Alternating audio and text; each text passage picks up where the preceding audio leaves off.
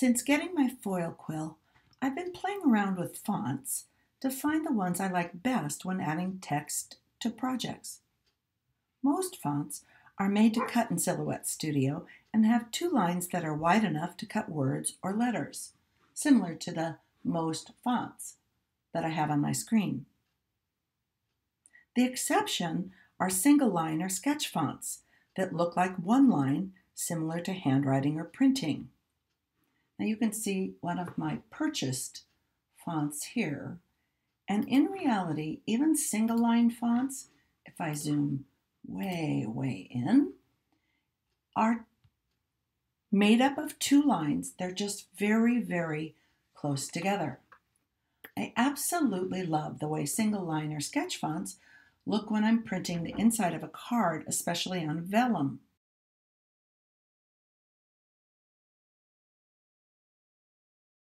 As you saw in the little video there, it just gives it an absolute handwriting type finish, and I love what they look like.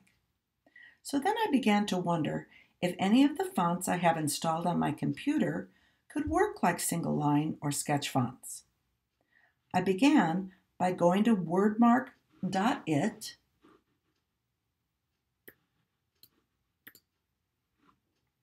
If you've never done this, it's a fabulous way to find out what your um, different fonts will look like when you're trying to pick out a font in whatever you're doing on Studio. You enter a word or a phrase.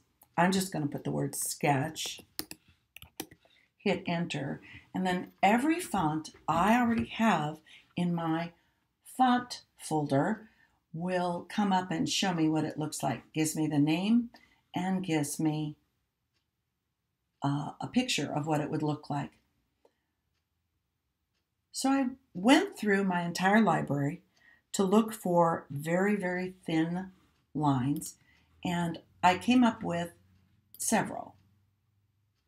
So these are the ones I found that I was able to make into a single line or sketch font or facsimile. These are the single line sketch fonts I already own but each one of them costs money. So the first one I came to was Calamity Jane.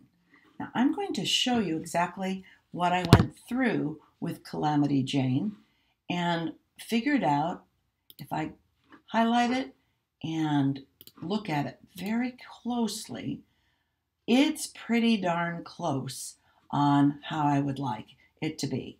So I tried that as a single line font when I was quilling the last time, and it looked fabulous.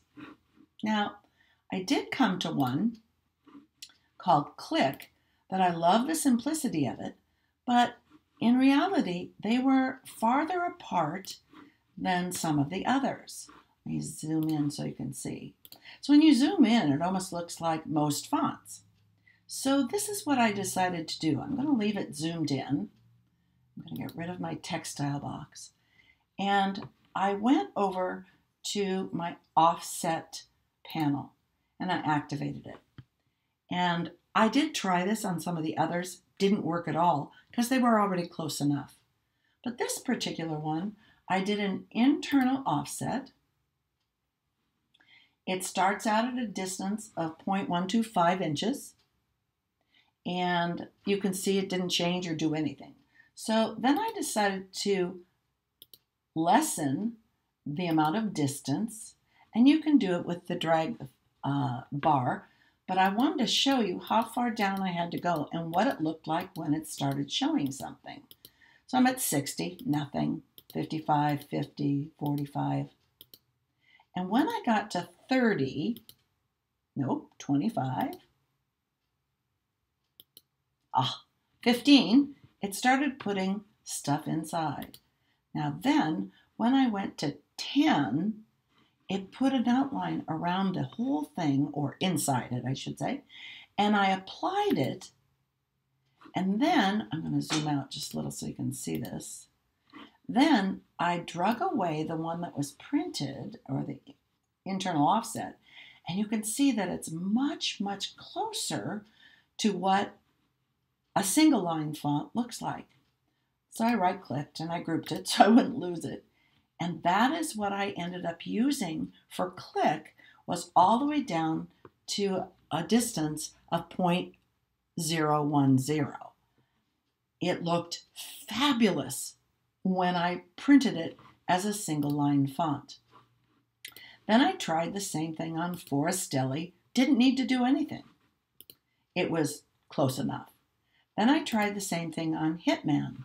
Well, if you go, show you one more time, close enough, and then you do an internal offset on Hitman. Again, I'll go down, down, down. You can obviously move the bar and do it much quicker. You see that nothing's in there, nothing, nothing. Oh, wait, there's little ones. And then it filled in. That's how you can tell whether it works or not. And then I applied and tore it away again. Whoopsie.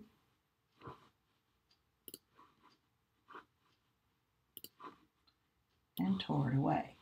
And you can see that the one I tore away is much thinner than the one I had before. And I left this for a single line font, worked perfect. So that's kind of the process I used to figure out if I liked it or not. Kamuri, the one that I tried here, didn't need it at all. Lily Bloom, I was able to put an inside offset in it. Mantan didn't need anything. Matilda didn't need anything. Paprika, I was able to put something in it. So each one I did try to find out if it would work any differently. I'll show you what they looked like when they were printed.